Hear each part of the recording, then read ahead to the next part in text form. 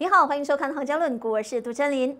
投资者购性高涨，大马交易所今年第二季的日均成交值按季猛涨百分之五十一。本月至今的交易量持续稳健，兴业投行研究因此上调大马交易所今年的日均成交值预估至三十三亿令吉，并上修二零二零财政年的净利预估百分之二十八。这意味着全年净利将按年大涨百分之六十二。不过，行家相信二零二一财政年的日均成交值会回退至更为稳定的水平，连带拖低二零二一年净利。衍生产品市场的日均合约第二季则按季跌百分之二十六，行家预期今年的日均合约可按年增加百分之二十八，并估计每股股息会有三十四点二仙，维持买入评级，目标价则调高至十一令吉二十仙。